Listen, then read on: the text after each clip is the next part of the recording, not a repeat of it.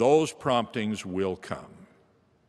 We know from countless personal testimonies that in His own way and His own time, the Lord is preparing persons to accept His gospel.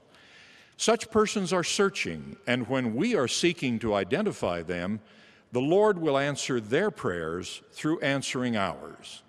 He will prompt and guide those who desire and who sincerely seek guidance in how, where, when, and with whom to share His gospel.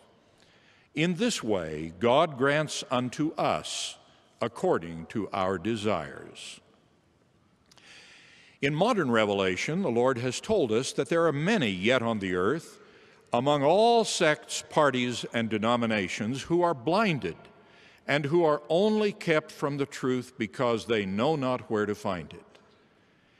When we are standing as witnesses of God at all times and in all things, the Lord will open ways for us to find and have appropriate communications with those who are seeking.